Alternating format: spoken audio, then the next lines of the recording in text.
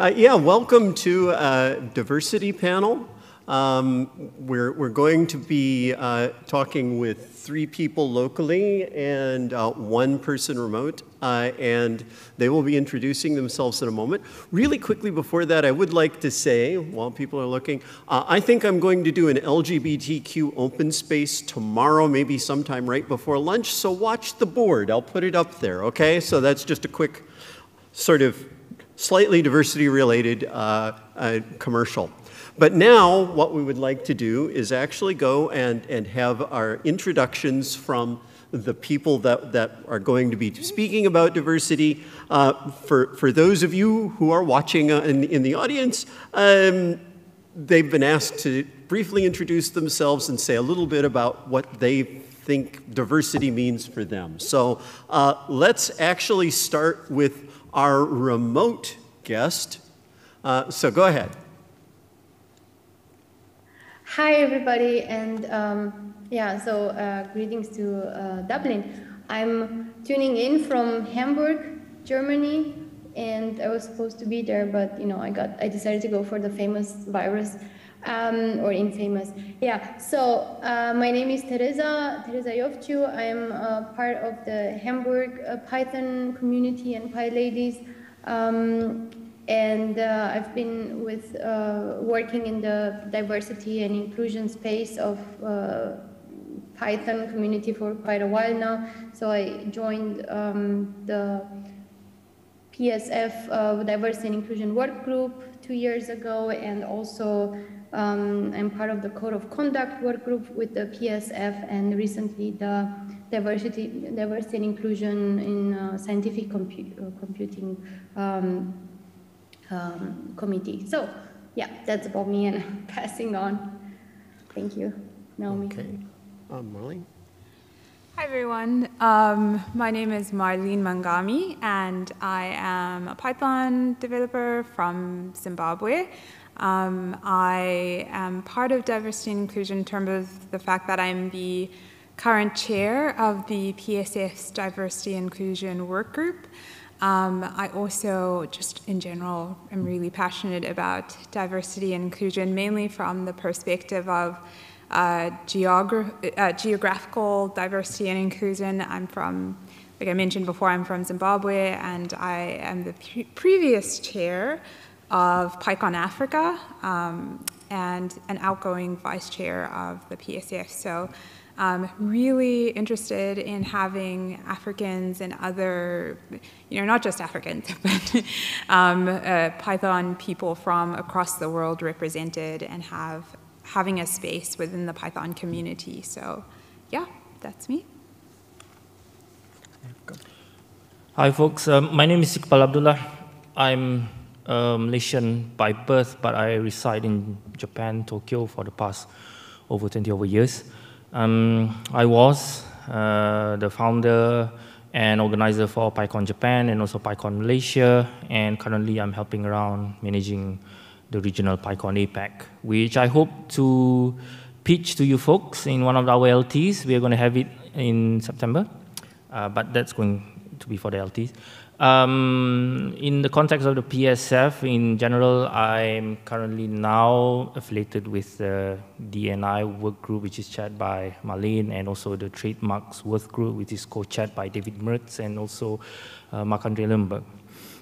Uh, diversity and inclusion on a personal point of view, so I cannot speak for my compatriots from the APAC region, but on personal point of view, is actually sharing a common set of values uh, that is beneficial to the community, regardless of where or how you come from or how you look like. Uh, hi everyone, my name is Nabanita Roy. I am a data scientist at ACI Worldwide and I've been residing in Ireland for about the last, about five years now.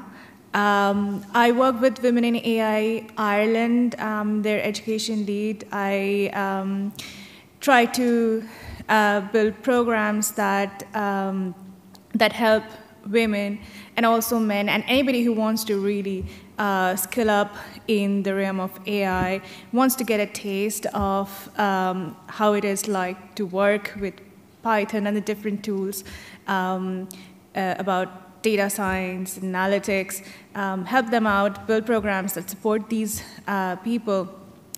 And, uh, and diversity and inclusion really excites me, um, and really, you know, great to hear all the introductions here, um, and great to know these people who work in this realm as well. Um, and it, it's important um, to me as well, um, and it's, and I uh, really don't like to associate it with like different individual work groups, but um, I like to address diversity inclusion for anybody who feels inferior to step up to whatever to do whatever they want and basically just be free from all the stereotypes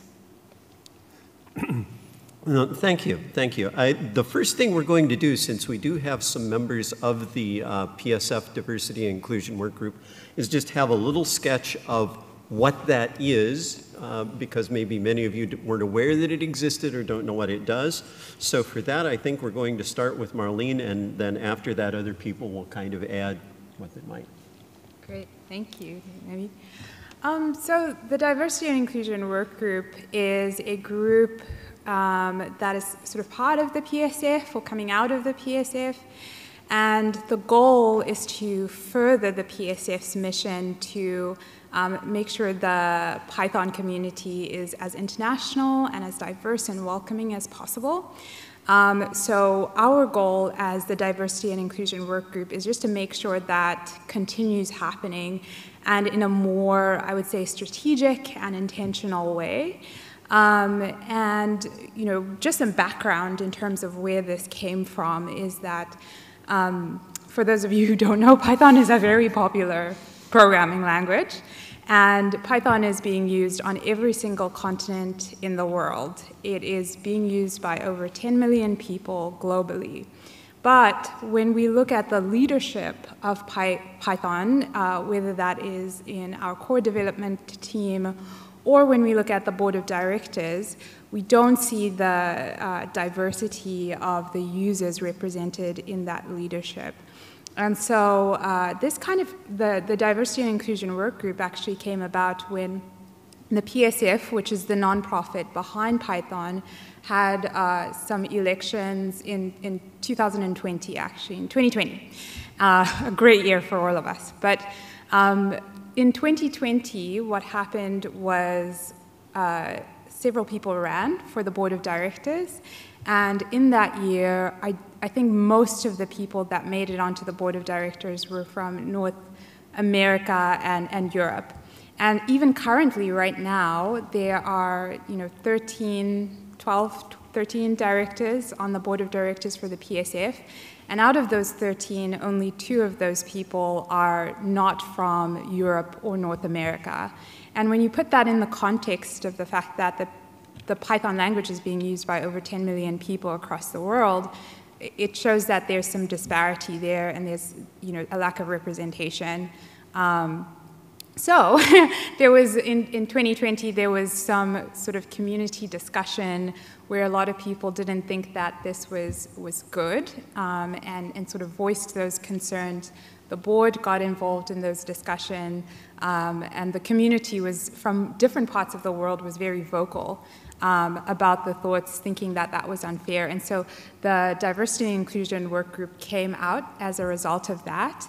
And uh, currently, uh, the work group has representatives from every single continent around the world, with the exception of Antarctica. So I have been asking if someone is from Antarctica, please reach out to me. But um, yeah, so we want to make sure that we are uh, making the board or the community as representative, as welcoming to people from all around the world. And we're starting with geographical representation as our main focus for the work group. Um, so yeah, that's a bit of a summary of, of what the diversity and inclusion work group is about. Okay. Any, anyone want to add anything to that? I think Marlene summed it up very well. Tereza, do you have anything you want to say? Okay. Well, and, and I do want to be clear that this, this session is not just about that working group, but we wanted to kind of give you a little bit of background as to that's where um, some of our experience uh, comes from. So the first question that we have down for, for people to answer uh, would be, um, what do you see as the biggest challenge to increasing diversity and inclusion in Python communities? And you kind of change, choose the scope. Is it locally, nationally, globally, whatever?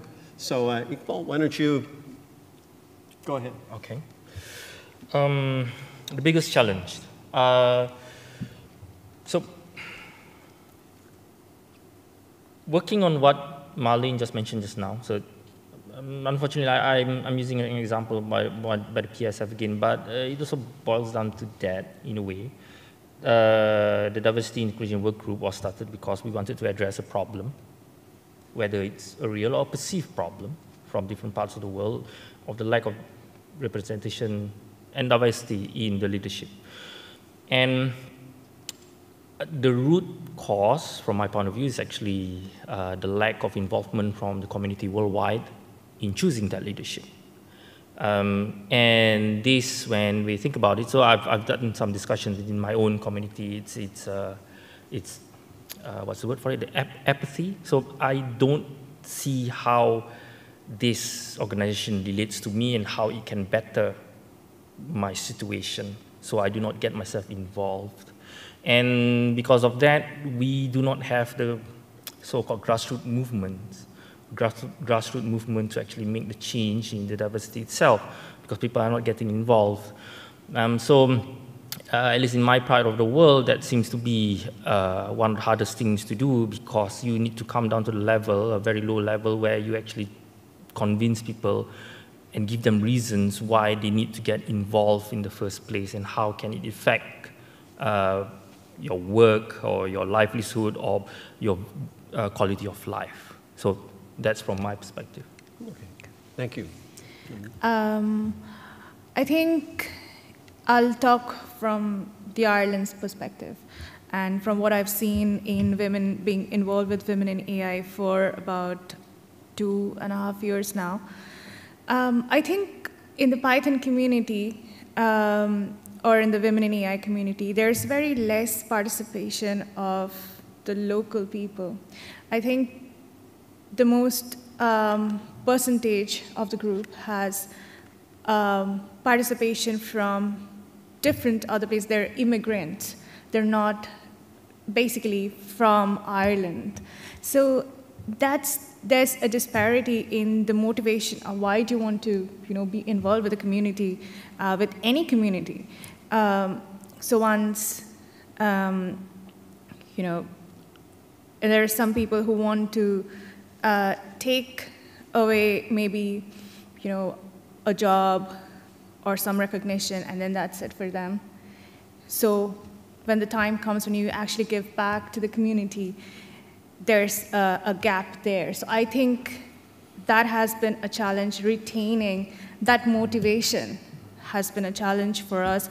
And then growing a sense of, oh, you know, you've got what you've gotten, but now it's a time for you to transfer, motivate, mentor more people to follow your path, really, you know. I think it's, it's been a challenge for us here in, in, you know, from the Irish background. Mm, thank you. Tereza. Thank you. So yeah, I think um, this is also happening in, in Germany um, or in Europe. But another issue I think is also that most of everything that we do today is in English. And mm-hmm. um, English is not the main language of everybody, right? So um, and sometimes diversity and inclusion means also tackling um, difficult topics that it's not really easy to tackle in a language that is not your own. So I think um, there's been quite a lot of effort in uh, the Python community to translate uh, some of the documentation. I think Spanish is almost done, and but there's so many other languages that um, have a lot of uh, people.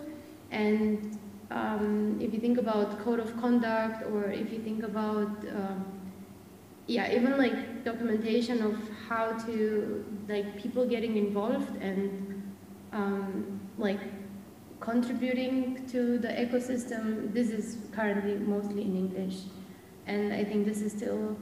Um, then it mostly feels foreign for a lot of people. So I think that's actually quite a big of a, that's quite a challenge that is not really obvious to the people when we speak, when our English is quite fine. Right. That is a big challenge in India as well, because I'm from India, and you know it has got a diversity of languages. So sometimes, you know, you know I understand that problem because not everyone knows or is well spoken in English, and also understanding what somebody else is saying. Some concepts are difficult to understand. Yeah. And I think many companies are doing a lot um, in bridging that gap. Really?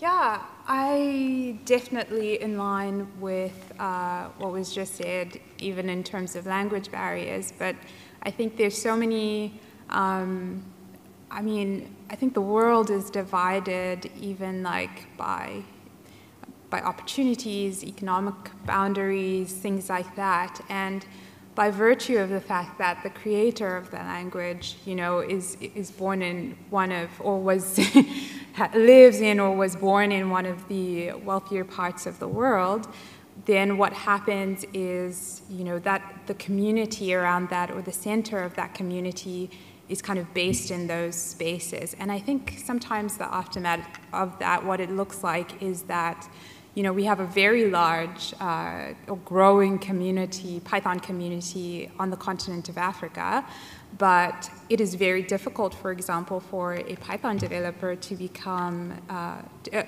a, a, Python developer in, in Africa um, to become, like, for example, a core developer because maybe a lot of some of the core developers, for example, become core developers by attending the sprints, right?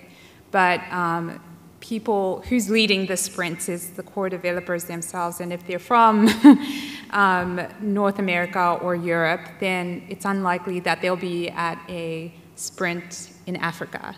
And so because of that, there's like this bridge that's not there where those opportunities are just not there for many African developers. And I don't think it's just those things, but like lots of things like Tereza just mentioned, the language barrier can be a problem. Um, but I really think it's, I think a lot of the issues are just, um, just not being connected as a global community um, and having those opportunities or having the center of the language be in um, regions of the world that are not accessible to everyone as well. So, yeah. oh, thank you. Now, of course, that those were the challenges. We also wanted to give everyone a chance to talk about uh, a success. So uh, the, the follow-up question is, what, what is a success you can think of? Again, you can choose the scope. And um, uh, yeah, this, uh, Nabanita, why don't you kick off?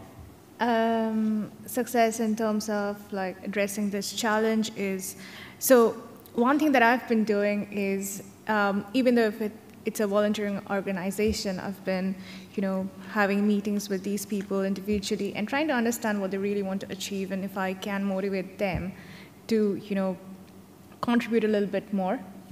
Um, I've also, um, you know, setting those expectations from them um, and basically, you know, making them aware what, you know, they could achieve even, you know, with you know, whatever little they do to help us in, down the line. Um, the other thing is, um, in terms of the language barrier, you know, I have, I myself have been uh, involved in um, translating a few things and wanting, uh, I, have contributed in a few projects in there um, to translate the concepts in my native language. And someday I would like to write, you know, translate all my blogs in my language and then publish it there because, you know, it's, it's pretty much kind of a remote place. Um, most people understand English, but then there's a huge um, urban and rural gap in India. And so people who, are, who belong to the rural areas that do not have access to the English materials at all. They will not understand it. So one of my you know, ambitions sometime later. But yeah, thanks. Um, I, could have, I, I, I, could say that. Um, yeah, that's it for me. Um, let, let, me break in here. I'm, I'm going rogue. I'm sorry. We were going very orderly. But the question of translation, do any of the, of the others of you have any comments about that process? It's impossible. It's easy. What, what, what do you think of the challenge of translating the documentation, the community stuff into uh, various other languages? Any, any thoughts on that? The key problem here is the terminologies, number one. Number two, Python is predominantly written in English. So even though I translate the concepts in my language, you still need to have some knowledge of English in order to write code. So that's another thing. I, these are the two things that comes to my mind. Any other comments? Can I just add on successes? So this also concerns with the translation and how the different languages, uh, how do we actually overcome the barrier? So from my region, uh, specifically East Asia, Southeast Asia, mm -hmm. none of the countries have English as their main language. None. Uh, but as, a very, as something which I'm proud of, um, we've overcome that and we have run um, the regional PyCon APAC uh, for since 2010 uh, for every single year now. And all these different countries, um, communities, basically, all these different communities, they have figured out what they think they need for their community, and they've organized around that. So we've uh, basically given a free hand to each of the communities to decide what you want to do for your particular conference, even though it's a regional conference. Everyone else from uh, the rest of the countries around them will come there. But the whole point is actually uh, we make uh, the regional conference, for example, you have a EuroPython here in Ireland. So in our case, we have the PyCon APAC uh, in Ireland, for, but it is for the Irish. So in this case, for the Singaporeans or for the Malaysians, for the Japanese, Indonesians, for the Vietnamese. So we welcome guests, but we do it for us. And in that sense, um, it's an international conference. So you have, for example, three tracks, and two of them will be in English, but there will be one track in the local language. That's what we do. And okay. what is important is that uh, language barrier, what Tereza just mentioned, Marlene just mentioned. Marlene just mentioned a very important thing just now, it's opportunities. So language barriers, mm-hmm. they take away opportunities from our community. People who have the talents mm-hmm. and have the capabilities but do not have the tools because they don't have access to the tools. So when we have this special track in lang- um, language, so local language, it opens up uh, access to role models where mm-hmm. people can come up and ask concepts in a language that they are familiar with, which allows them to get hooked and climb into our collective bus towards a particular destination for the community. So this is one of, uh, I think, that uh, PyCon APAC, the, the East Asia, Southeast Asia region is very uh, proud of. One of the success I think we can consider. Okay. All right. Any other comments on the language? Um, yeah. Oh, um, maybe I'll go and then Tereza, you can go after me. But I think it's a complicated issue because like even for us to be here, even for the diversity and inclusion work group to communicate amongst ourselves, there has to be a shared language, right? So if I could not speak English, you, I mean, I, you wouldn't be listening to me right now, you wouldn't. Unless we had like great translation, and that's something that Python is also involved in right now. Maybe we need more real-time translation. Um, and I feel like, you know, at some point we do need some shared language. And I mean, in Africa, you have a lot of Africans being able, for example, to speak English because we were colonized by the British. So, um, I mean, a lot of people can speak English. But I think, so in, in a way, um, English is sort of this bridge language that we, we have to use at the moment.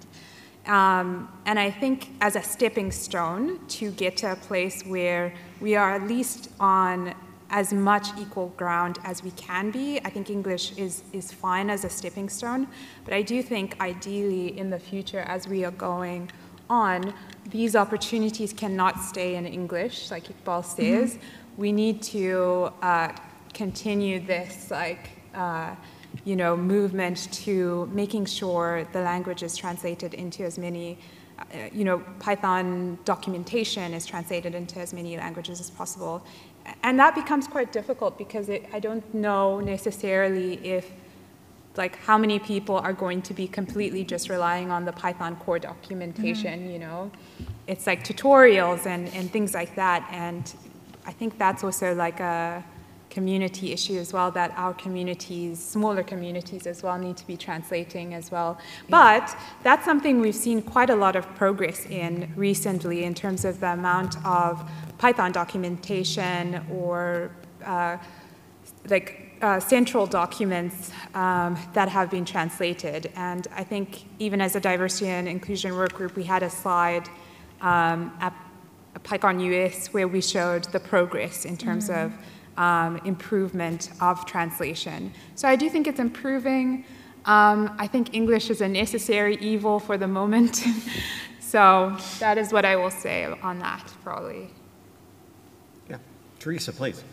Yeah, so I think um, coming back to what Iqbal was mentioning also with the tooling, so the tooling itself sometimes can be a barrier when it's just in English, uh, especially as it's like, it's the tools we use every day. And I remember I was at PyCascade um, two years ago and during the sprints, um, there was a track on translation and that's how I found out that there's quite a lot of effort and available. It's super easy to get into just translating and providing uh, like translations, which is like sentence level for Jupyter Lab, right? Which is a lot of people are using Jupyter Lab. And I did it because I'm from Romania and I basically, I just did it as I had time back then to do some sentences to translate in Romanian so that the tool is available in Romanian.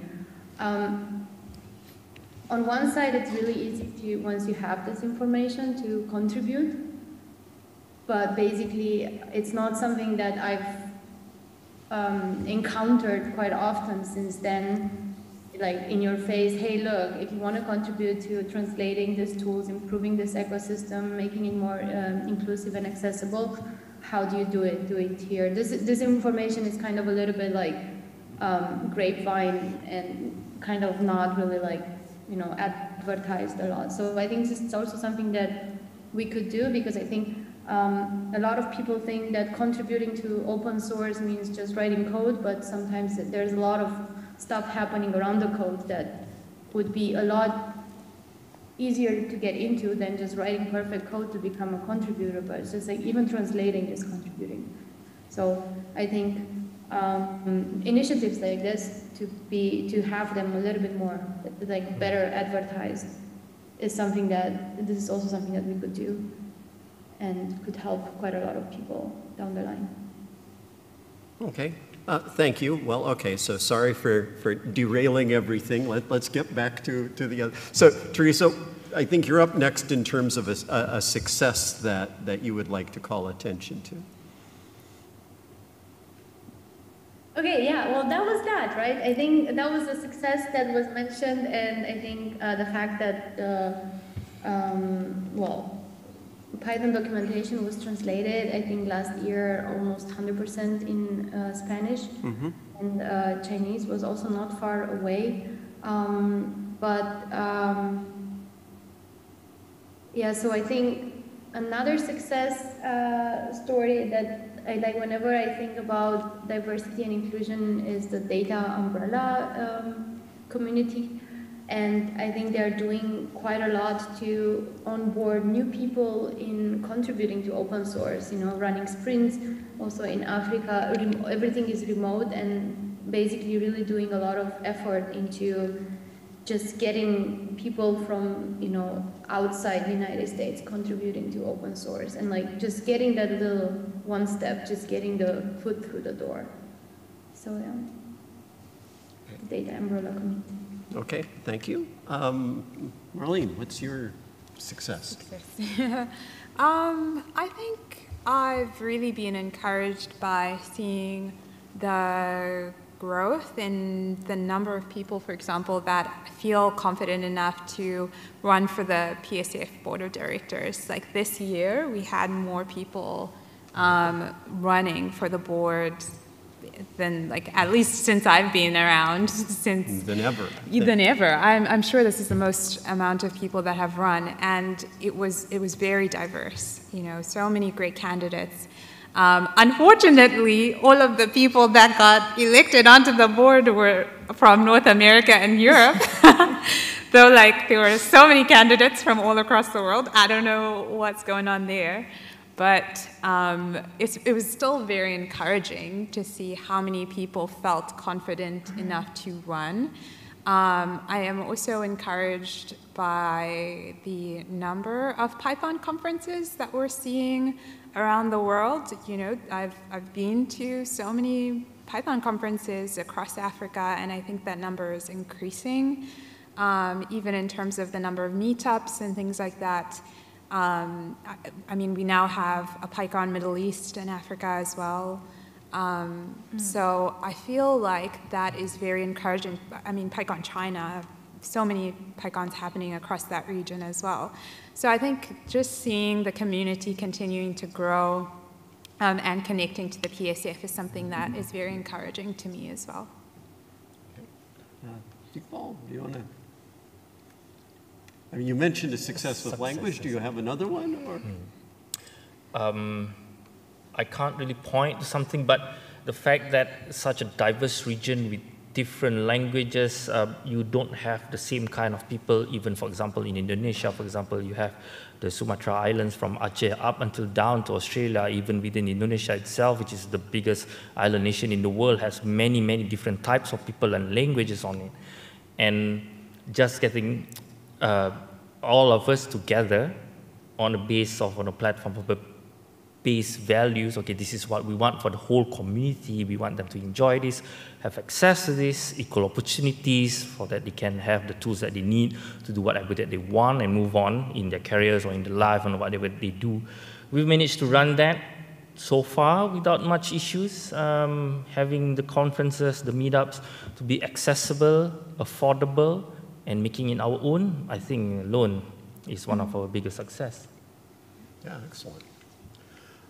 Okay, um, we've got a couple more questions here for, for the group. Um, the next one is, what is your, your suggestion, maybe the thing you could do if you could wave a magic wand and just have something happen? What is your take on how to get more people involved, be that um, in terms of voting, as I think Iqbal mentioned in PSF elections or in your local community. It's kind of however you see that. So um, let's see, I think as we've rotated, Tereza, you're up. Okay. Um, I would um, I would get more people to just join as members of the PSF, for example. Um, just small advertisement if you're contributing, I think, five hours a month to Python community, that means you're running a meetup. We, everybody knows just running one meetup a month takes more than five hours. Um, so any of this qualifies you for becoming a uh, Python Software Foundation member. Um, and then that gives you the um, so managing member, and then, and then you can just vote, right? So getting more people from everywhere in the world to just join and, you know, you get the news, newsletters and whatnot, and then you see when there's elections and you're basically part of the loop and you can vote next time. So that, that would be something that I would do. Just get everybody using Python to join the PSF members. Okay. Um, Marlene, what do you think?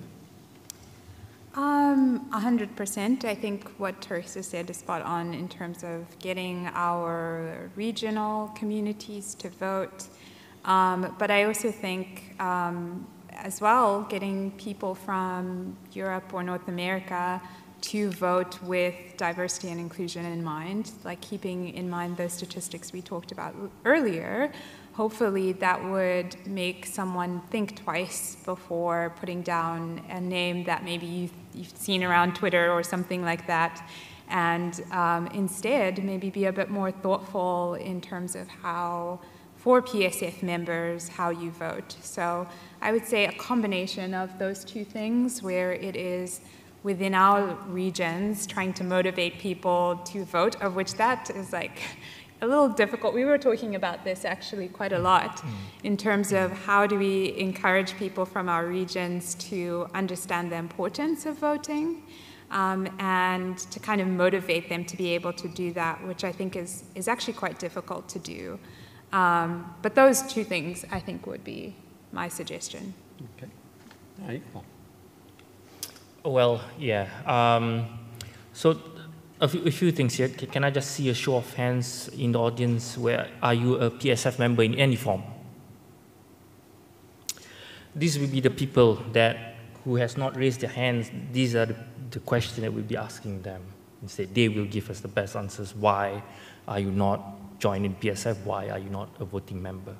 So, number one, uh, it is true. Uh, as part of the DNI work group, we have started a questionnaire to actually first to get to know what our community members look like, how, where are you from, what kind of languages that you, you speak, and uh, why are you aware of the PSF and that you can vote in the PSF. And so far, we have known from this data that around 70% are not members of the PSF or they don't understand that they can actually vote in the PSF and what the board of directors does, in fact. So we know this.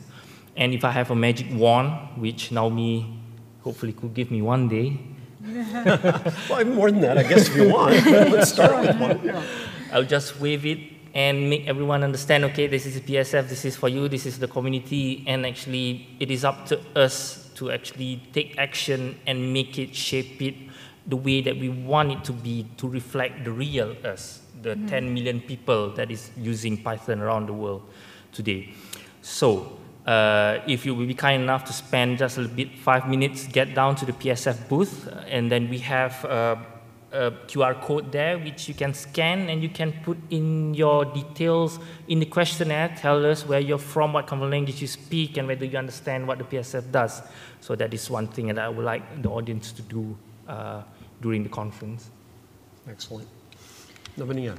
So, uh, I haven't been a part of the PSF. Uh, but you can member. make it for your community, or. But yeah, so that's what that's where I'm going. So, uh, probably there's some gap um, because of which I haven't known before the panel. Um, and now that I knew it, so I wanted to figure out what that is, right? So I went I registered, I registered myself as a member. I'm probably the newest member there. And uh, maybe after this, I, I will be you know, more involved in there, right? Um, so if, if I had a magic wand, for the same reason, you know, maybe um, I would want to make people aware of all these different initiatives that are going on to involve more people uh, you know, to take part. Yeah. Okay, thank you. Okay, we've got uh, uh, one more question that, that we have on our list of things that we wanted to cover, which is, is actually from uh, Iqbal. Uh, and it raises the point that uh, Python Software Foundation is a US-based um, nonprofit.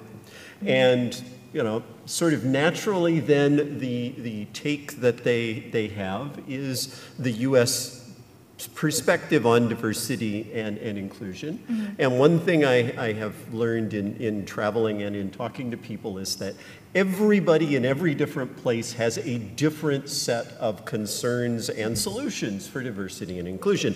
So our, our question here is particularly based in, in a contrast. This is EuroPython. So for those of you who are in Europe, the two of you, uh, what would you say is, are some differences maybe that you wished were more recognized in the terms of what the European reality is versus the, the, what our default tendency to push the US perspective to the front? Mm.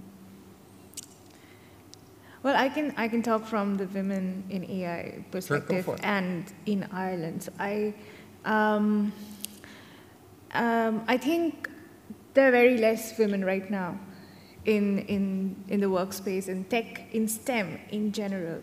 Um, and I think that is because they don't have role models from when they start schooling. And by the time they're in you know, high school, they've already made a decision for themselves. Um, I think this might extend to the greater you know, EMEA region. Um, but by the, by, the, by the time they're already, you know, choosing their subjects, they have an opinion that, you know, they might not want to go to STEM. Maths might be too difficult for them. You know, um, assumptions like these. So um, that's kind of a challenge. Well, and going back to maybe India, a lot of people are there in, in STEM, you will find like so many women are there. Um, but the same problem, DNI, the diversity and inclusion problem goes when you climb, you know, higher up in your career. So, you know, two very contrasting um, subjects here. One where you need a lot of motivation to go take the STEM route and I think the very few people who come, they, they've done like excellent jobs of climbing up the career. Whereas in you know, India, which is a developing country, right? There are many, many women who are there in STEM who want to pursue STEM. Their family wants them to pursue STEM, but they only go up to a certain level. So that's a DNI challenge in two different perspectives. Interesting. Can I just, so can you elaborate in what do you mean when they go to a certain level? What level is so, that? Yeah, so they, you know, when they, when they go up in more like seniority levels, right? So there are loads of responsibilities, but at the same time, you have changes in your personal life. And that's where the, the gap comes in. Expectations from society, Expectations your, your from society. gender role, you yeah. mean, I see, okay. Yeah. All right. Mm-hmm. Excellent. Uh, Tereza, um, any thoughts? Yeah, I would say that's still a problem in Germany as well. I think um, if you look at women in leadership, the percentages drop quite a lot, or if they are still rising, they are maybe for the wrong reasons. Um, and I think um, I still remember when I was running PyLadies meetups in Hamburg in person, um, I still was getting sometimes, you know, the every now colleague asking, isn't this discrimination if I'm running meetups just for women? And, um, you know, it's all this, I think a lot of the diversity conversations have just not started. Sometimes it feels like compared to United States. Um, and this is sometimes um, something that people working in diversity and inclusion in Europe, they just need to be prepared for all sorts of, um, a lot of like this random statements, mm-hmm. questions, well meant, which are in the end in any other country would be considered microaggressions, but here they're like well meant.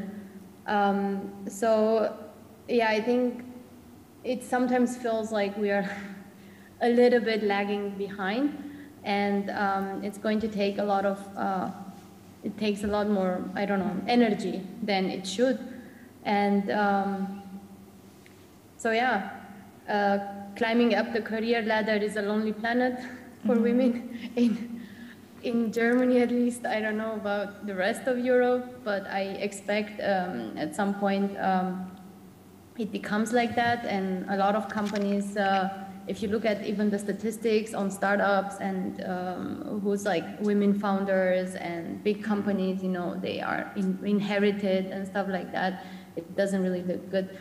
Um, so that's why I think there's a lot of effort, at least in Europe, to at least get more women through the door of um, uh, yeah in the diversity and inclusion so in companies in coding in stem and uh, mm-hmm. there's a lot of um, initiatives for getting people from school already because um, so i come from romania where you know kids don't grow up being told all the time that you can't do this, at least you can't study math because you're a girl and you're not going to be so good at it. But I've heard the stories way more often in Germany, right? And um, I think this is something that is currently being uh, fought this one front, you know, to how to get kids in school to go to do STEM, you know, to kind of find that you know, math is cool and it's not hard at all and things like this.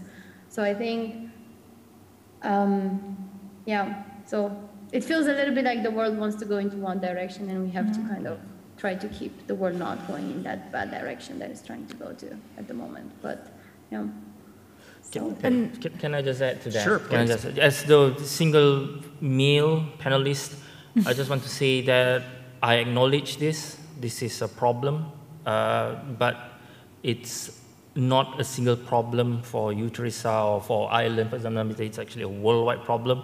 Half of our world's population is women, and we are not using the power, the force to, we, we are basically just walking on one feet, I mean, one leg when we have two, right? Um, unfortunately, um, I don't have the answer to this world problem of ours. Uh, I think I would like to use the magic wand from Naomi to actually solve this instead, if I can. Um, Japan is as not really a great example of empowerment uh, of giving opportunities to women. Uh, the latest study says that we are actually one of the lowest ranking in the disparity of, of, of the, the women, not only in STEM, uh, but in politics, in senior positions, in leadership roles. Um, there are many reasons for this, which uh, two-day panel will not even suffice, right? Um, like all of you already know, but it is a problem, and uh, we need to do whatever we can, at least even small steps to actually solve this. Yeah, fundamentally, I mean, Marlene, do you want to go? Do you want to say, or maybe? Oh, I- you can go. Yeah. Go ahead. Fundamentally, there is a problem of having role models. I, in one of the recent conferences, I thought, you know, people say that um, women seek more mentorship, women seek guidance more than men. And I think that's because, you know, men have a lot of role models out there. And they can, you know, seek guidance, mentorship, pretty much available.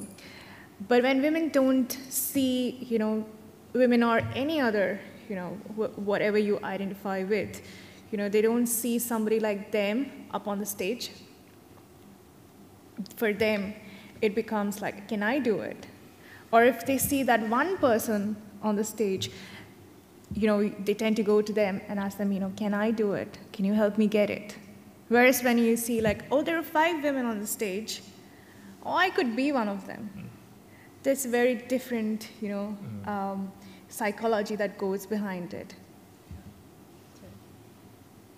Yeah, I think that's right. Um, yeah, I think absolutely that is a layer that is there. I, I think that for women, definitely um, just just being underrepresented in general in um, in programming and computer science, when honestly we, sh- we really shouldn't be. Like I, I just don't really understand. Like, yeah, it's just that I think is a really big barrier in terms of how we also approach um, diversity and inclusion from that inspiration perspective or you know thinking I can do something.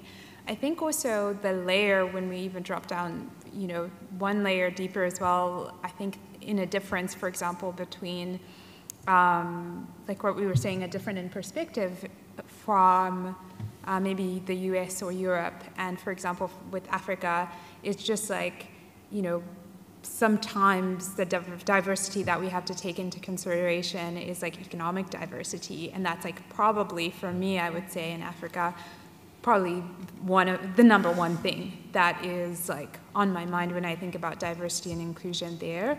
Say, for example, right now we are going, we went into COVID, and I, I mean, here with EuroPython and PyCon US and all of these other conferences, it was like relatively seamless to be able to um, to host a remote conference. Tereza is calling us in from, you know, calling here from Germany. But when we tried to organize PyCon Africa remotely, it was very difficult. It was extremely difficult.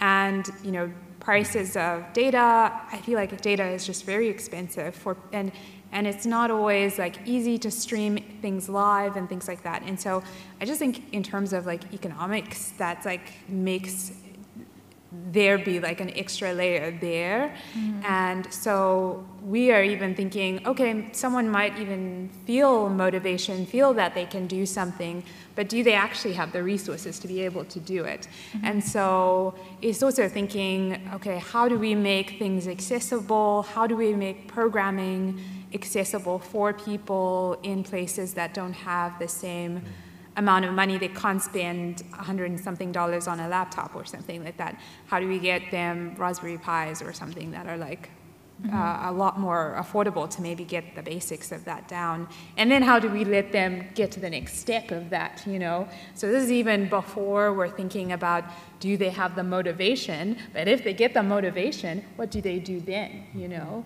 So I think those are also layers of diversity and inclusion that we have to keep in mind as well. Yeah. Okay. Absolutely. Okay. Um, those those are our questions. I think um, before we, we do anything else, um, I'd, I'd like to offer each of you kind of a chance for a closing statement, call to action, whatever you want. Are, are, are you up for that or not? Yeah. Okay, well, go, go ahead, Marlene. I think you're, you're, you're the next in the rotation. Okay, perfect. Yeah, I just think, well, first of all, I just want to say thank you to everyone that came to this, this session in general. Um, just, I think that people need to care about diversity and inclusion. I think it's awesome to care about the technical side of the language, but just the community aspect of it. There's like a human side to, throughout this conference, I've been hearing people saying that programmers are, are humans too, and I think there's a human side of, of Python, and so I think it's awesome that people care about this issue. So I think if you have come to this panel session, if you are interested in um, the work the Diversity and Inclusion Work Group is doing, or um, whatever it is, I would say number one, sign up to be a member of the PSF. You can do that at python.org. Um, and when the election comes, please vote for someone who's not from Europe or North America. That would be like, even though you're from Europe, please rebel from your own people. Um, so I would say that. I would also say, I would encourage you to, if you do get the chance as well, to go to conferences that are outside of Europe and North America if you can. I know that can be tricky as well. Um, but definitely encourage you to also kind of get out of your own perspective and try and travel to other spaces to be able to like understand um, some of the challenges. And I think that natural exchange is, is actually quite helpful for diversity and inclusion. So I think that would be my call to action. PyCon Ghana is coming up soon. The CFP, I think, might still be open. So if you would like to go to Ghana, feel free to apply to that. Yeah. Yeah, Victor. Okay, call to action. Uh, register as a voting member, uh, vote, um, organize meetups, organize conferences. Um, I have found it personally very rewarding and very powerful to get involved with people which are different than me, uh, where I stay, the language that I usually speak from, and backgrounds. Um, whether it's cultural or social economic backgrounds, and they always come to a point where we share a common thing, a common value, and those are usually during conferences such as this. Um, I also make it a point when I go to a conference to volunteer, like what I'm doing for EuroPython 2, and that automatically allows me access to the people there and also understand them better, which allows me to bring back things and we can learn from one another, which will only make us better and stronger and go further together. And go scan the barcode down at the booth, right? Right. Yes, yes. scan the barcode down at the booth uh, uh, and tell us who you are, where you're from, and uh, what language you speak, and whether you understand what the PSF does. Yes. Okay. Cool. I second that. exactly. Um, and of course, I'll pitch for uh, voting for PSF. I'm going to do next year. Yeah, next year is it? That's awesome. Yes. Yeah, hundred percent. Um, and then just On the, uh, just on the side of um, maybe last comments, um, I started with saying like, for me, um, diversity and inclusion means breaking from the stereotypes. So um, my last words would be like, you know, if you if you have a certain perspective in your mind already about someone, some community, some race, the different you know categories there are, think about that that one single person, that individual, who that person is, and is it worth um, stereotyping that person and, and discriminating against that person? Is that is it worth it? Why would you do it? You know. So get over the stereotypes, celebrate individuality, and that's it. And vote for PSF. Excellent. Thank you. Tereza? Yeah, so I have on the side of organizing things and events now that we're doing more and more conferences and meetups and small events, large events. I think the large events are starting to be better formed in a sense. Everybody who's organizing in large events now cares about diversity and inclusion and to kind of have diverse lineups, diverse attendance but we should try not to forget the small events. So if you're organizing a meetup, try to get your community involved and try to get more local people also engaged and to present. Of course, it's always nice to bring a celebrity in, but try to figure out how do you get the local people who are rep- representatives of your community engaged and you know to to get and also ask yourself what do i have to do to get a diverse lineup? Is my lineup, are the people attending diverse enough and what am I doing wrong? And reach out if you don't have the answers. It's really important that we're having these conversations, trying to really, you know, care about diversity, care about inclusion, and also all the intersections of diversity, right? And think about all the, yeah, what can you do in your community to have more of that? Because then everybody's gonna come, I think, I hope and have fun with Python. Thank you, thank you. Um, I, I think we're really right about at the end of time. So uh, thanks to everyone who joined us, um, either you know in person or remote. We didn't forget about you. Don't worry. Uh, and uh, again, I, these are good things to think about, and these are some people that you might want to talk to uh, if you want to pursue this more. So yeah, thanks everyone. Thank you, Naomi. Bye bye. Thank you, Naomi. Thank you. Thank So- you. Thank you, everyone. Oh, Thank you, so Naomi. thank you for um, panel. Thank you, Naomi, for moderating. Thank you, and Tereza's gone off now, so thank you. I want to say thank you, Marlene, Iqbal, and Nabanita. We do have like two minutes. If um, if people are, if you're okay for a Q and quick Q and A, do we have anything remote? N- No. Is there anyone want to? Uh, you can approach the mic if you have a question. Just up here. One or two questions. I think we should be okay. Hi there. Uh, so first of all, thank you for organizing this panel, and thanks to all panelists. It was a very interesting discussion. That's better. um, so I was wondering uh, about the votes of the PSF. Uh, did you ever consider uh, to include quotas, like to make quotas for diversity into the uh, vote for board of directors? Um, so that would be, yeah, I'm interested in that. Um, I know there's been discussion about having dedicated seats for regions. Um, and that has been something that has been discussed, but it's never actually been implemented, or it hasn't been implemented yet. You know, that's something I think could be a really good solution, but it is something that would be quite a big change and needs consensus both from the board and then from the community. So if there's going to be a bylaw change, uh, there has to be a quorum in terms of every single, like in terms of um, a, a high enough number of the members voting for that bylaw change to happen. So it is a, that's a great question and it's a great idea that I think would work to an extent. So hopefully it does happen in the future. Yeah. Good luck with that. Thank, you. uh, I'm really sorry, we're just like time just got. So you can, um, um, they, they will be down in the PSF. If you have a question us, and you'll find Nabanita around as well. So I'm really sorry about that. Um, I'm also a member of PSF, and you need to talk. I'm on the yellow shirt, so you definitely can find me um, if you have any questions. And go down to the PSF uh, table in the forum. And it's coffee break in a few minutes, so it's five past. So um, thank you again to the panel. Thank you to everyone here for um, joining us. It's been quite important, and I learned a lot. Um, and also, Naomi and myself are also on the PSF grants work group as well.